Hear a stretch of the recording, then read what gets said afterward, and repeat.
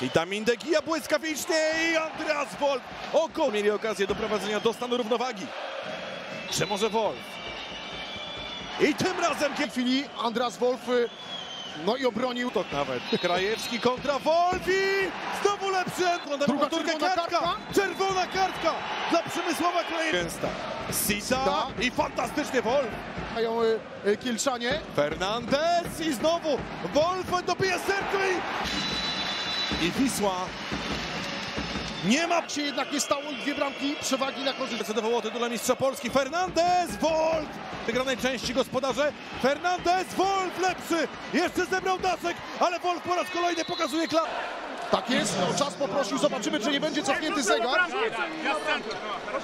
Nie, ale tam. Hej! Tylko jedno podanie i rzut! A co na 16 bramkę dla gospodarzy? Ależ teraz na centralnym. Jeszcze Kosorotow. Wolf świetnie, ale nie ma dobitki. Jeśli chodzi o rozprowadzenie piłki, y, akcja ofensywna nawciarzy, ale indywidualnej nie to akcji.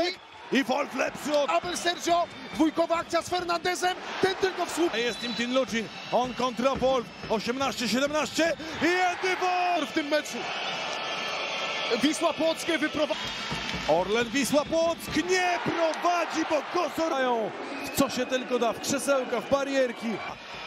I Kosorotow rozbroni i Dobitka skrzydła. Kosorotow i nie ma bramki i poprzeczka potem rzuć.